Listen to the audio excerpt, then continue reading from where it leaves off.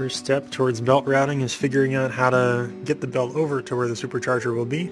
And here's what I've devised. This is a pulley from an N54 BMW.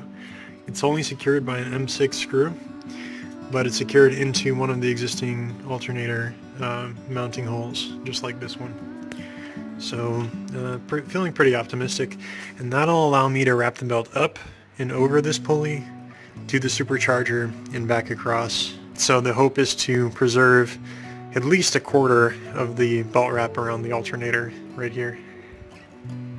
Alright, supercharger belt is on. I want to see if it'll crank.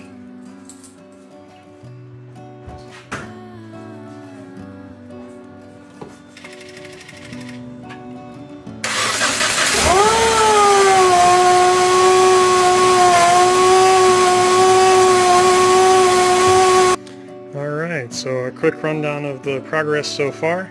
Spent all day reinforcing this bracket, which goes from down by the timing cover up here. Got a little uh, triangular section here.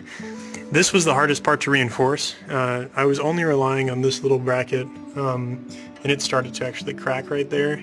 So I have found two more things to bolt to.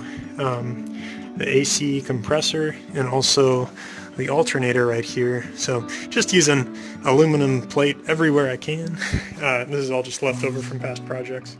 On the back, um, I have just this one kind of L-shaped bracket, uh, which is bolted to where there's also this like hook for um, hoisting the engine. So we shall see how this does. All right, gonna go for another start.